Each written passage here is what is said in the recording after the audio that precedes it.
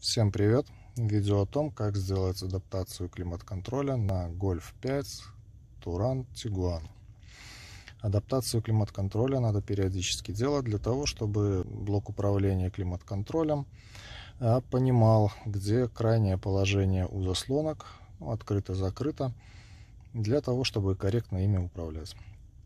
Значит, чтобы сделать адаптацию, нужно зажать две кнопочки одновременно. Подача воздуха на себя и AC кондиционер. Нажимаем.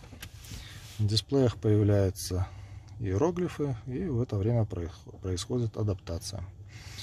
Она продолжается ну, примерно полминуты. После этого кондиционер должен корректно работать.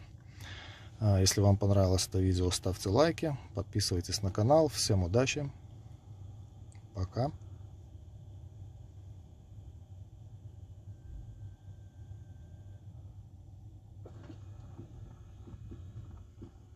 Адаптация завершена.